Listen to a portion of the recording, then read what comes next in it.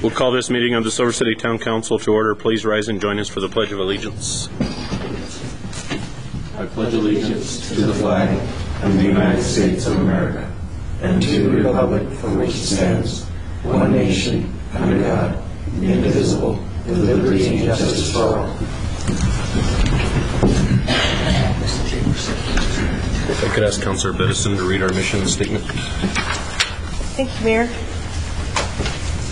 Silver City is the hub of an inclusive community settled within a small town that through guided growth honors and preserves its historical, cultural, and natural heritage while facilitating jobs, health, and educational resources such that the residents and visitors may enjoy and protect the recreational opportunities of the area and high quality of life.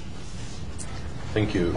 The next item on the agenda is proclamations for Children's Mental Health Awareness Day, May 3rd, 2011. And if I could get those of you that are here for that to join me in the front.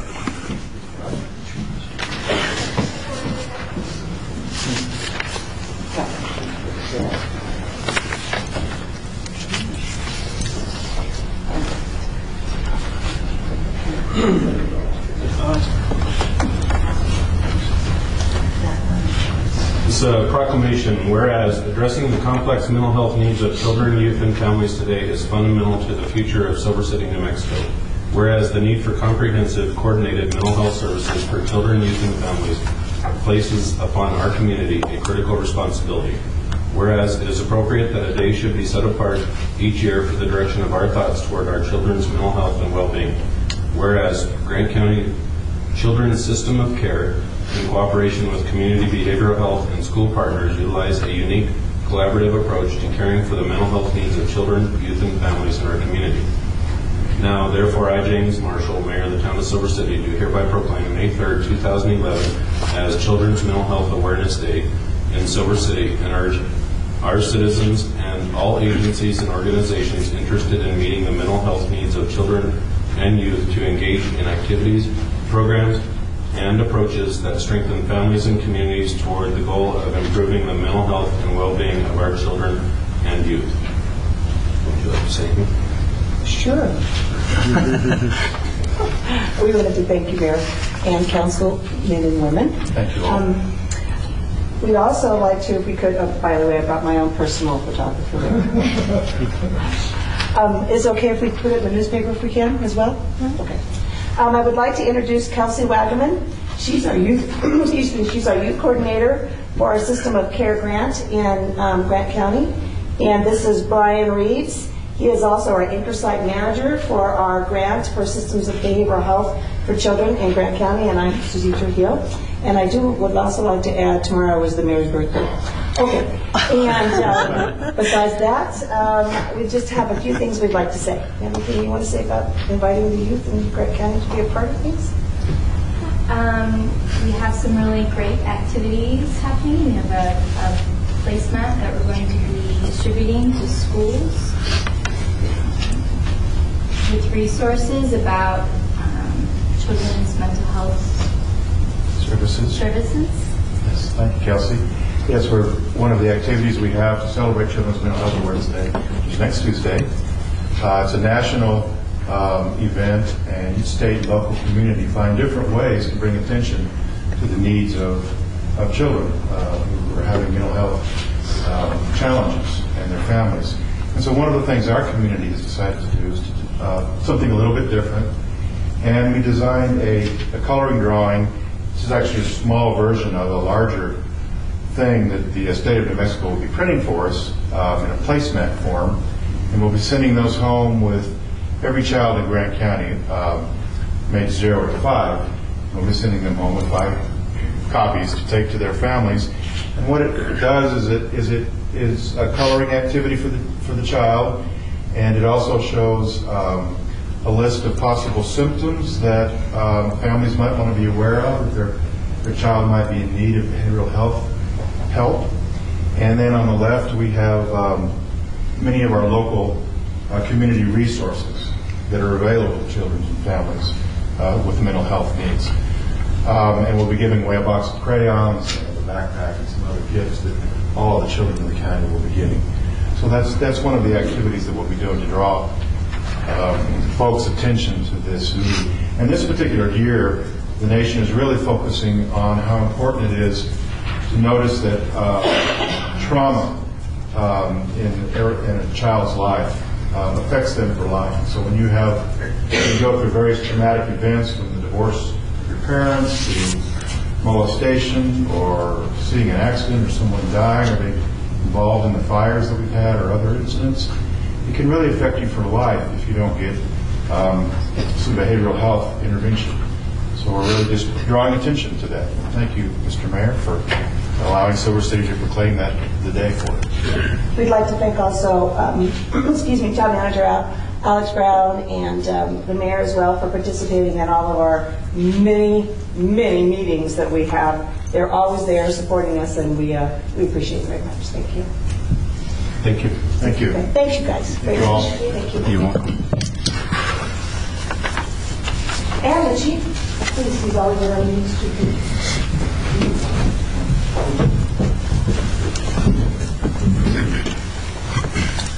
Next item on the agenda is public input. And I remind everybody you have five minutes to speak. If you're looking at me, I'll try to give you a one-minute warning.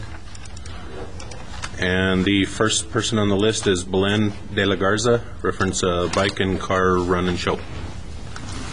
Come to the podium.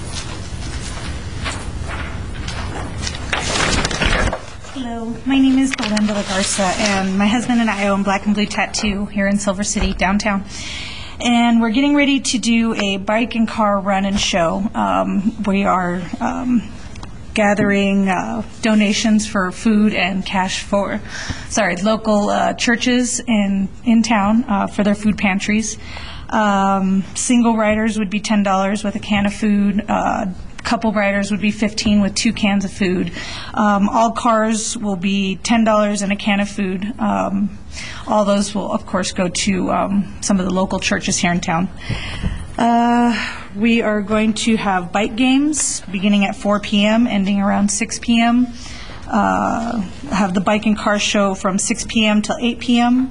There'll be a after party at uh, Q's Bistro beginning at 9 p.m. And um,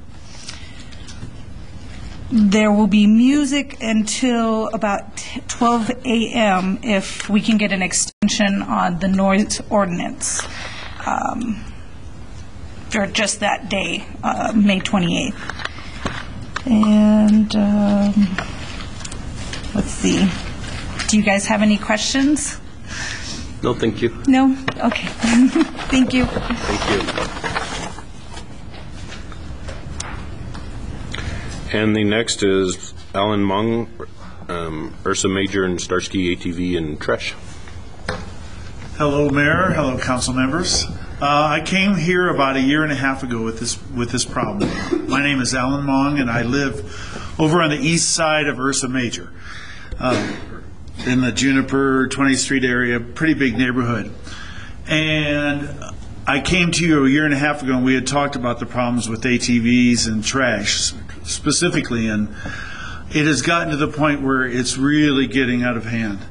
Um, today, at quarter till five, there was an ATV riding up there for you know half an hour. I mean, there were 55 mile an hour gusts going on at the time. I- If a spark were to come off of an ATV or dirt bikes that go up there also, our, our neighborhood would be devastated. It's all grass on the east side of the ridge, and the wind was out of the west. It, I mean, it's, it's just, it's ridiculous. I've called the non-emergency number of the police many times. I told Ed, they've always been great, very responsive. But of course, many times they get there and the people are already gone by then. Uh, and I just got to the point a couple months ago where I quit calling because I got tired of bugging them and it was just happening so much. Also, I've talked to several neighbors. Uh, they have also mentioned how dangerous it is. There are people, there are probably 30 to 50 people that walk up there every day with their dogs, with kids, and even sometimes babies and strollers. I have seen ATVs and uh, dirt bikes come over the top of the ridge and go over that hump, and it's a blind spot. They could easily hit somebody. Easily. I'm surprised it hasn't happened already. My neighbor was up there a couple weeks ago. She found a dead dog wrapped in a blanket. Another neighbor I just spoke to today, she was up there on, on Saturday walking her dogs, which she does every day. There were kids in a car, young kids in a car throwing beer bottles out the window. And she just looked at them and said, Are you kidding me? And they gave her the finger. Um, there's drug, pa- drug paraphernalia there. There's baby diapers with feces. There's mattresses. I mean, the trash is crazy. But the worst part to me is the ATVs and the the dirt bikes. I mean, come on. You don't have any common sense on a day like this after we've had all these fires to not be riding anything? But I don't think they they really care. And the police will tell them and they just come back again. So I know it needs to be open for fire access. I understand that. But I wish there was a way you could figure out that there was a chain or some kind of blockage that with a code that they could get in there if they had to because I really think it should be closed off because the traffic has gotten worse. Oh, I forgot to this is kind of funny. But um, another neighbor was walking by around dusk and uh, found a couple having sex in the front seat of the car. So there are a lot of cars up there at night. You can get up in the middle of the night, and that's where there's a lot of cars going up and up and down that ridge. I really, really think it should be closed off. There's so many people. It seems like more and more people walk up there now. So it's just gotten to the point today. And I mean, I really, when I walked in, James said, "How are you?" And I said, "I'm ticked off," because it's it's dangerous. I mean, if a spark was there, I mean, we, it would wipe out that whole neighborhood around Juniper and North because it's all all grass in there. So I hope there's something you can do about it because a lot of us, a lot of the neighbors are all frustrated too. They've also called the police many, many times. So I really thank you for listening. I thank you for your time. Alan, would you leave your phone number with Alex or the clerk, and Okay. we'll, we'll be in touch. All right.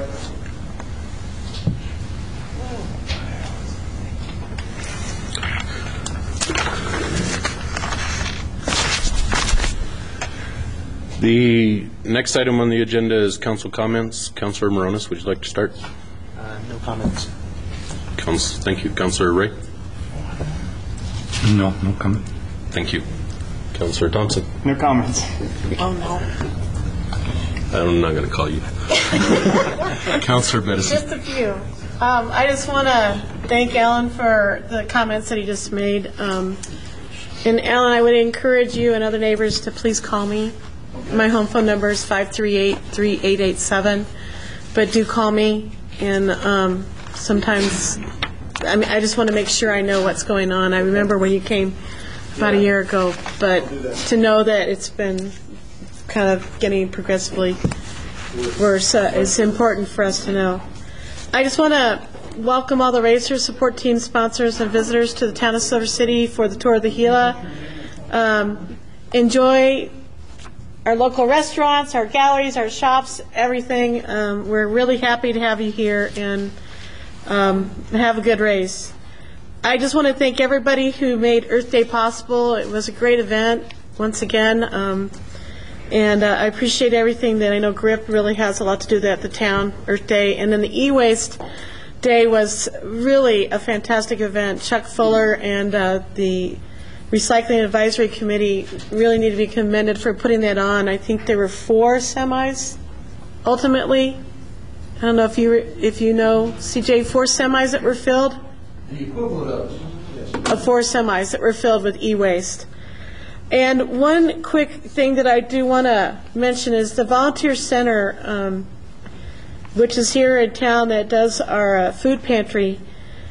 They have, um, there's an option for them, um, for us to vote and secure a 25 fruit tree orchard uh, for the Common Center, which they're building over at 13th and Corbin.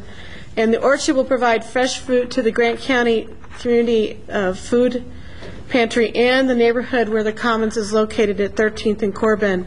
In order to vote for the Volunteer Center, you need to go to www.communitiestakeroot, and that's R-O-O-T, dot com, select New Mexico, register with the website, You can vote once per day until May 31st to see if we can secure this for our community.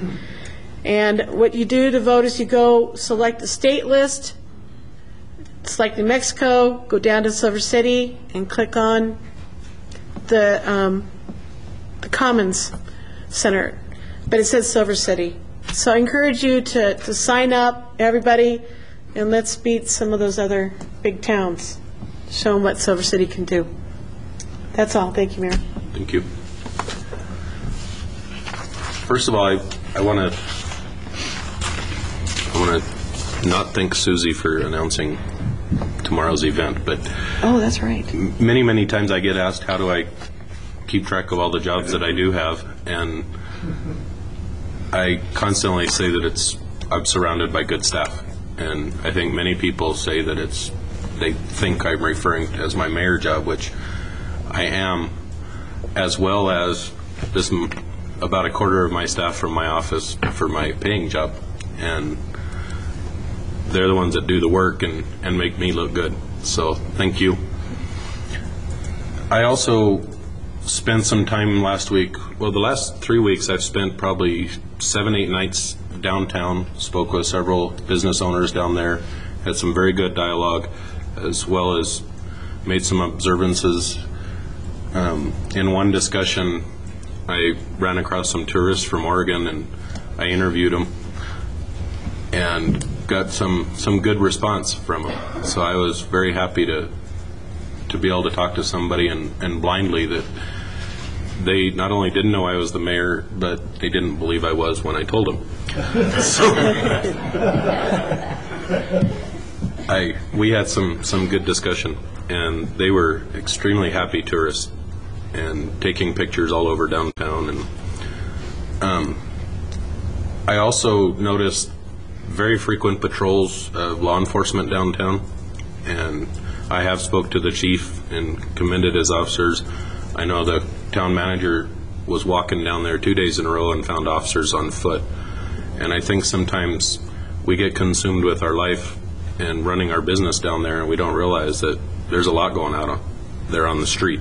And much of it is, there are police out there walking, driving, parking, and we, we also want to balance that from being a, a police state where every corner you look, there's a cop, and, and the tourists wonder why. So I, I think they're doing a good job in doing that. I also spent many hours up on the Mountain View area and spoke with several people, pretty much anybody that was out in their yard, I stopped and talked to them. And they also commended our police department for the presence that they've had up in the, in the fire area. And I did relay that to the chief, and I hope you as well pass that on to, to the crews that are out there on the streets. As well as, I got a lot of information on, on what goes on in the neighborhoods, and I, I cruised that neighborhood for a while. I parked up there, I met people, I went up around the college, just south of the college, and talked to people up there. And I can tell you, it was, it makes a mayor feel good when you're, you're driving around hearing what I was hearing. People are really, really satisfied to live in this town. And up by the college area, there was a lot of people out walking, and they were walking pretty much down the middle of the street. So they obviously were feeling safe and comfortable. Does not mean we don't have areas to improve, as, as Alan pointed out, in some of the Mountain View areas. But overall, I think we're seeing some improvements. I think we're, we're seeing our law enforcement out there, we're seeing our, our staff out there, they're, they're working hard. Um, Lastly, I would just like to welcome the Tour of the Gila back, and for those of you that are not overly fond of bikes, please, it's just a few days a year. Be very, very patient with them. Let's not get anybody hurt out there.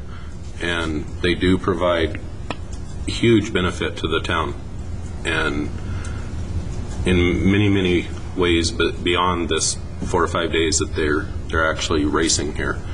So let's let's be patient. Let's make them feel welcome and want to come back and come back all year long. So, and anybody need room two? Counselor. I would like to, I would like to commend the, the fire department also for being very, very quick to respond, along with the police department. And I want to thank um, Belen also for bringing up the bike run that is in the works for the, in conjunction during the Blues Festival also. Thank you. Thank you. Next item on the agenda is, council have any changes to the agenda? Hearing none.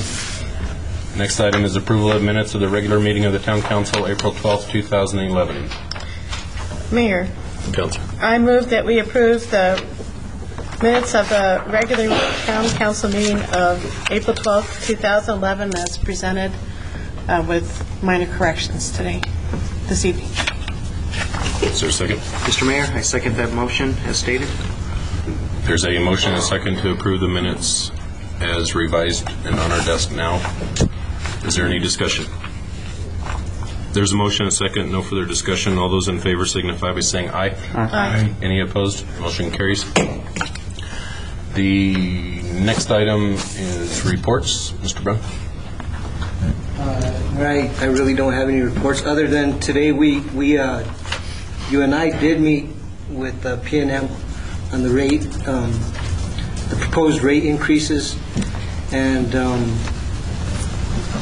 uh, those are very important, it's a very important issue because, as far as the town is concerned, because it both, both impacts the residents individually, as well as the, the town and the services that we provide, because it's compounded when the town gets a rate increase, because uh, the individual gets charged at their home, plus when we provide water, water, the cost to operate the water system uh, goes up because of those rate increases, so they get a, com- it's get, gets compounded.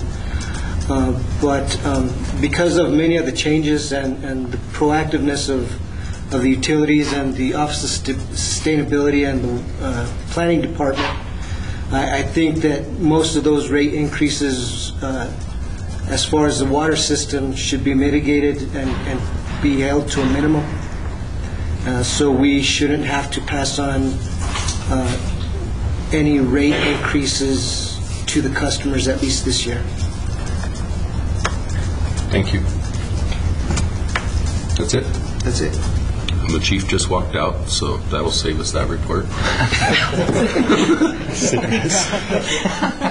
And he didn't, wasn't here to hear it. Any other, I don't see any other directors. Um, We'll go on to unfinished business. Next item, appointment of one member to the cemetery board. And this one I've been a little bit torn over. Um, I I think we have two good applicants, Lindy Lennox as well as um, former counselor Steve May. I I held it off last time because I I wanted to speak with the chair, and I did speak with the chair, and her recommendation was um, Steve May. However, on this one, I I tend to want to go with Miss Lennox. I think her background may bring a fresh approach to the, the cemetery board that we haven't seen in a while. And the board is currently pretty well filled with, with longtime residents that, that have extensive knowledge of the history. So with that said, I would like to appoint Lindy L. Lennox to the cemetery board. Is there any objection? No. Sir. Hearing none, we could send the appropriate letters. The next item on the agenda is under new business, approval, disapproval of bid number 10 slash 11 dash 12, Penny Park reconstruction. Mr. Brown. Mayor and Council, we finally were able to put out the bid for uh, the Penny Park reconstruction. Uh, We received two bidders, one from Nambe Construction of Santa Fe and the second of Sacaton Construction of Silver City. Uh, Nambe Construction um, was deemed uh, non-responsive because of uh, issues with uh, their Workforce Solutions uh, registration. And after review of Sacaton Construction, uh, they uh, were deemed non-compliant because we found that um, there's actually a special contractor's permit, licensure that is required to build parks. And uh, Construction does not have that uh, uh, licensure. So uh, it's staff's recommendation to reject both uh, bids and uh, go out uh, for rebid. We also contacted the state um, to, as far as Sacaton, Sacaton Construction, and found that um, we could request a waiver for that special licensure from um, construction industries. So we will uh, be doing that as well. Uh, So we can open up the uh, opportunities to uh, all general contractors for, for the, for the bid. The base bid, uh, for your information, was, Mayor, you, you did make a comment uh, today that the cost was pretty high, uh, but the base bid is actually the bid to replace everything that was burnt.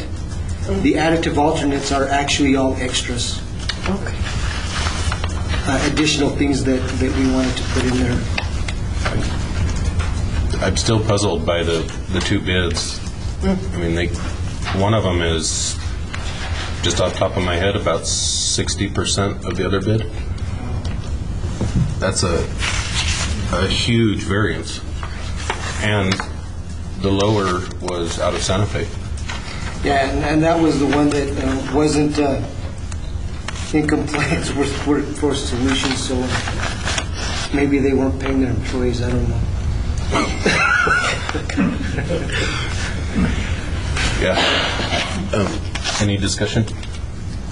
Um, You have the floor. When, uh, when are you going to do this immediately? I'm Um, going to do this immediately, Okay, and then it'll be a 30-day period again for bids? yes. Okay. Thank you. Oh, and- Does, I'm sorry, go ahead. does the Sacaton Construction have to redo the same paperwork again, Uh, Yes, the- if we're able to get the waiver, the waiver? they would be in compliant and qualified for the, for the bid. So that's what we're hoping is that they would be able to re, rebid as well as other general contractors. The town will to ask for the, re- uh, for the We, waiver, right? we're already in the process of doing it. Thank you. Any other discussion? Entertain a bid, a motion to reject all bids on bid number 10 slash 11 dash 12. Mayor? Oh, sorry. Counselor Benson. Um, I move that we, um, Reject. sorry, reject um, bid number, all, okay, now you have to say it again because I completely forgot what you just said. Okay. Your motion is to reject all bids. All bids for bid number 10 slash 12, 11 dash 12, Penny Park reconstruction. Correct. Is there a second? Mr. Mayor, I second that motion. There's a motion, a second. Is there any discussion? There's a motion, a second. No further discussion to reject all bids on bid number 10 slash 11 dash 12, Penny Park reconstruction. All those in favor signify by saying aye. Aye. Any opposed? Motion carries. Next item on the agenda is approval, disapproval of contract agreement between the Town of Silver City and the Southwest Solid Waste Authority for fiscal year 2011 recycling services within the Town of Silver City. Mr. Brown. Mayor and council, um, the uh, term of the recycling agreement has expired, will expire this year, and uh, we went into, I went into negotiations with the S- Solid Waste Authority manager um, for the recycling services. Uh, At the time that I went into, to negotiate, uh, we started the single-stream recycling, which now accepts uh, many more different types of materials for recycling. And um, when it was presented to, to the Solid Waste Authority Board, it was, it was stated that the actual cost to do the recycling is, is much uh, less costly. So I was going to go in there and, and try to decrease the, the uh, amount that we're paying for recycling.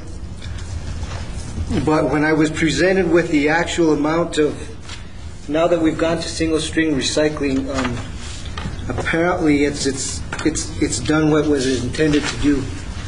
Um, I got a report from the Solid Waste Authority. In 2009, uh, there was uh, 510 tons of recycling processed through the, through the authority. In uh, 2010, there was 984 tons of recycling. And uh, so basically, the recycling has increased so much that uh, it's actually costing almost as much to process the, the material because we're processing so much more at the landfill. Uh, But the real benefit to us is that the, it diverts that much more recyclables, that much more material from the, the main landfill, uh, which is going to extend the life of the landfill. Um, I don't know, did, did everybody get a copy of this report? Yeah. So, based on previous estimates and, and the- the amount of tonnage of ti- of material that was being brought in, the estimated life of the landfill uh, was 19.4 years. Uh, If we continue at the current rate uh, of uh, recycling, that, that life would be extended to 30, 30, a little less than 30 and a half years. Um, So um, basically, our $171,000 investment that we, we pay a flat rate, $172,171. That's a flat rate that we pay annually. And no matter how much recyclables we send over the, the scale, that's what we pay. Uh, So the, the more that we can divert away from the landfill, the less uh, we have to pay in tipping fees for our customers.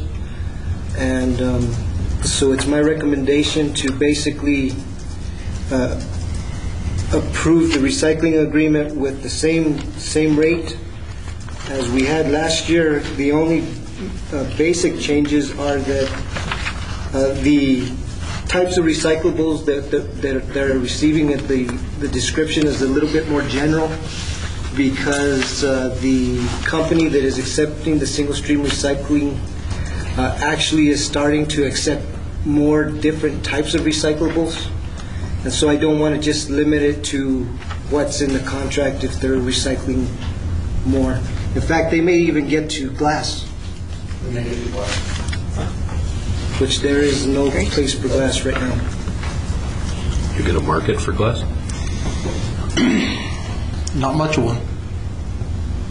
But uh, i- if we could get the glass into, you know, a mainstream remarkling, uh, uh, recycling system, you know, in, in Albuquerque, there's a bit of a market for glass. In Silver City, there isn't. What is MSW? Municipal solid waste. Trash. Any questions? Questions? Just comment.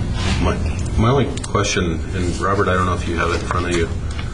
The 8.11 was something that I asked for last year, which is the performance standard, and we agreed to 95%.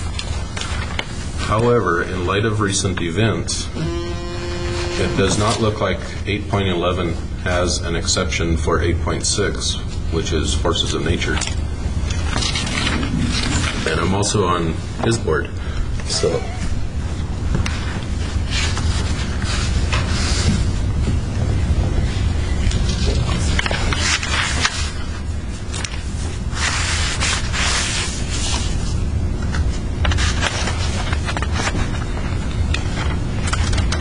Question is? Should there be an exception in 8.11 indicating that should there be a force majeure that this would not be enforced?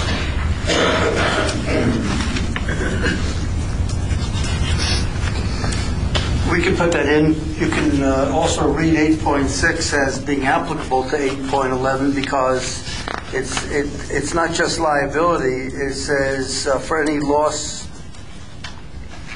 uh, hold the other party uh, liable for any loss. And this would be a loss. The 8.11 would be a loss if they don't make the performance level. So for clarification, we can add it, but I'm comfortable with 8.6 uh, being able to be argued that where you were not able to make the 95% compliance because of force majeure. I'm confident with that answer from our attorney on television. You- The authority would have a good argument. So I'm fine with the contract as it's written. Any other discussion? Entertain a motion?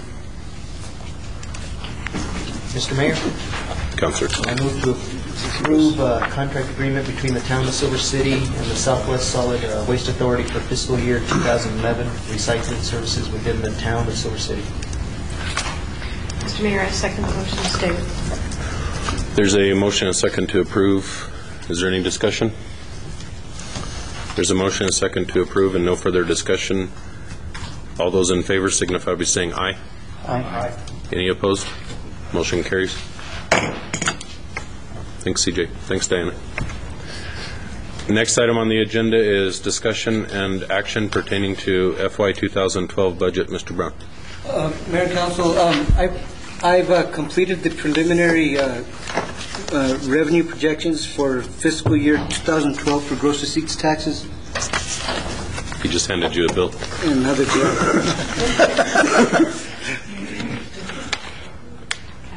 Oh, And, um, and I just wanted to let you know that um, as far as the three major funds and lodger's tax, which usually is, are the funds that uh, are scrutinized the most by the council and the public, um, gross receipts taxes, projecting a 2.3% increase over uh, what I'm projecting to be our final revenue projections this year.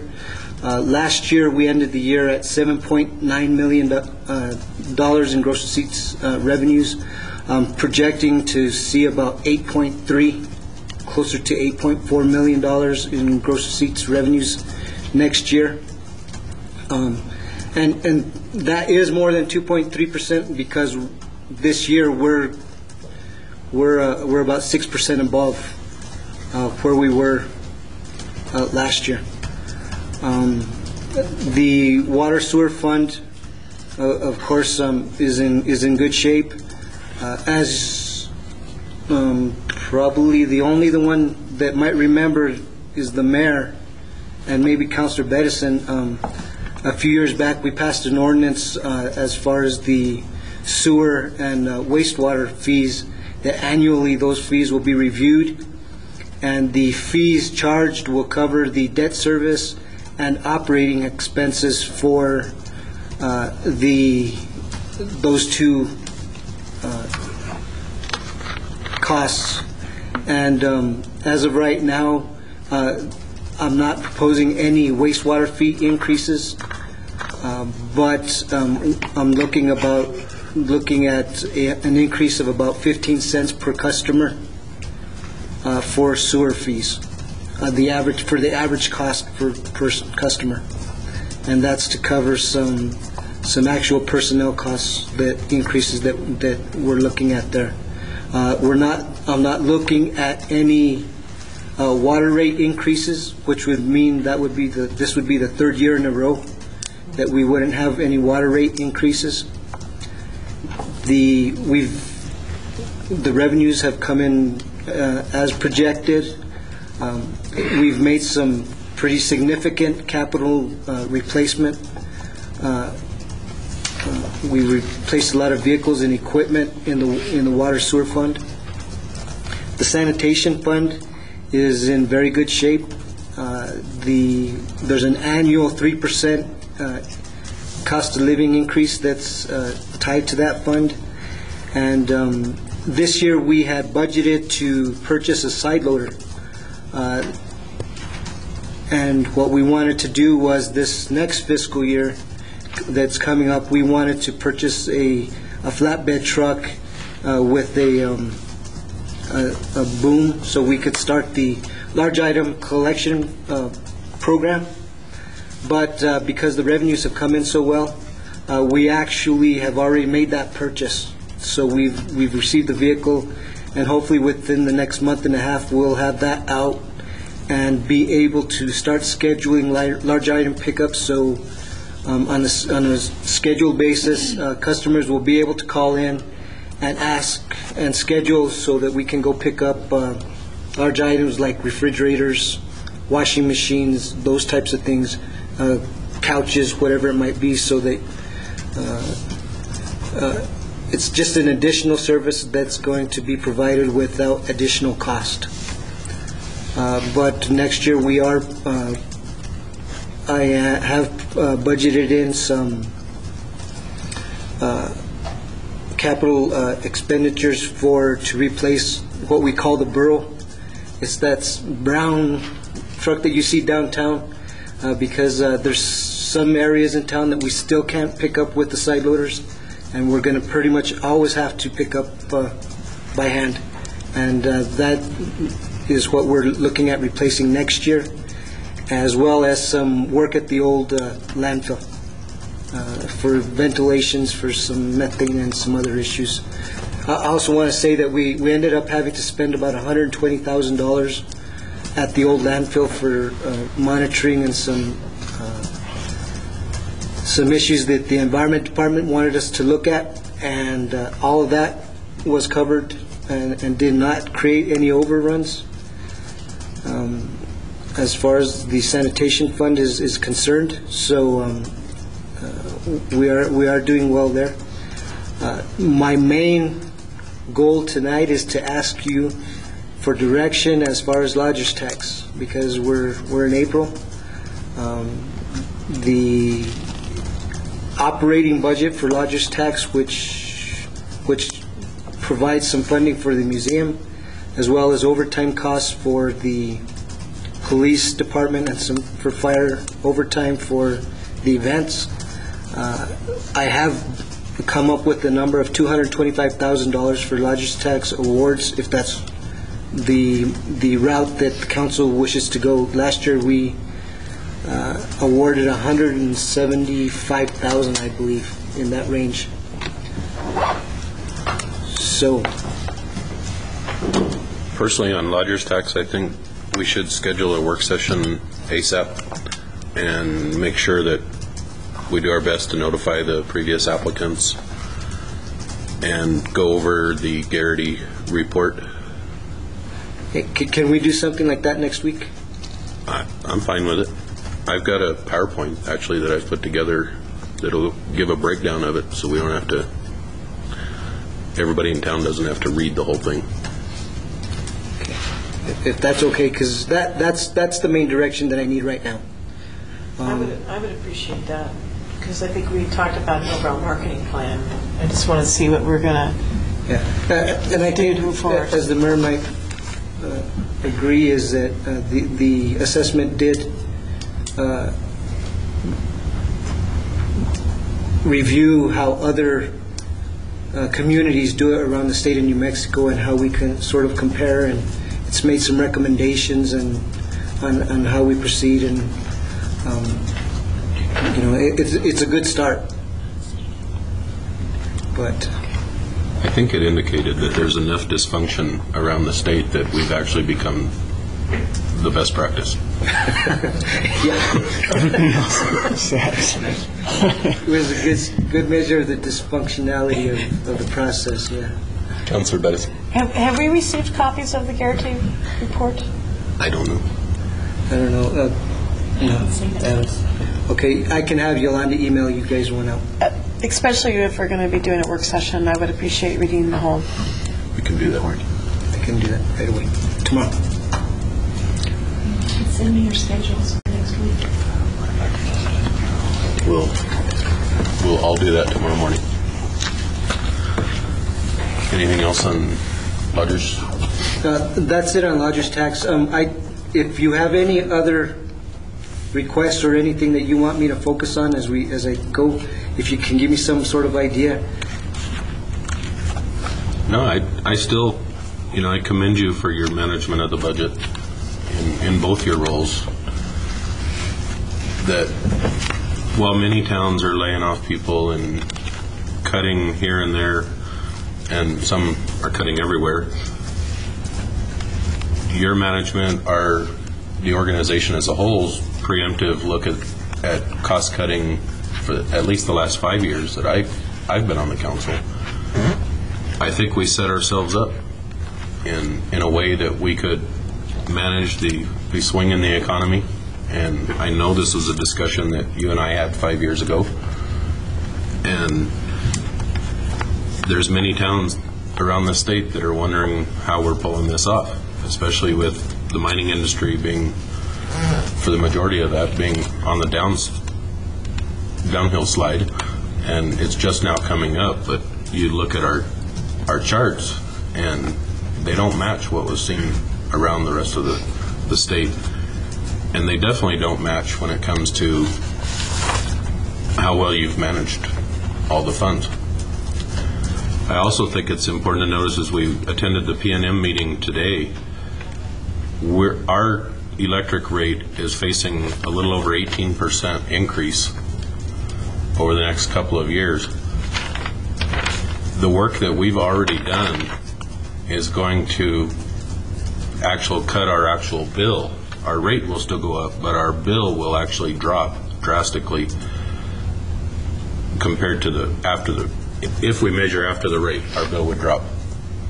We may break in, break even, we may be pretty close to a very small increase in electric rates or electric bills after this increase. And a lot of it is the energy efficient pumps, the work that Robert Escada did out in the well fields, the work that we've done on the, on the sewer plant and increasing its efficient use of energy. At the same time, we also increased its efficiency in processing, which was not energy efficient, but we, we've made up for it in many other ways. And now, as we go forward with the solar project to fund, to feed the, the sewer plant, we're, we're really coming out pretty well.